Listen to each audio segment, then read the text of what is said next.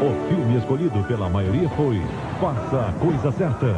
Amanhã você vai ver o preconceito racial fazendo explodir a violência num bairro de Nova York. De Spike Lee, Faça a Coisa Certa com Dani Aiello e John Turturro. Amanhã em Intercine.